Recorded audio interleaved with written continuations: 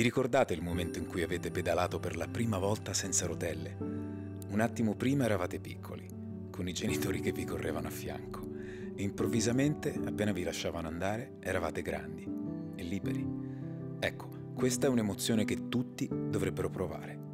Invece un bambino su cinque oggi nel mondo vive in zone di guerra, dove l'infanzia viene negata in tutti i suoi aspetti, quotidianamente e con violenza.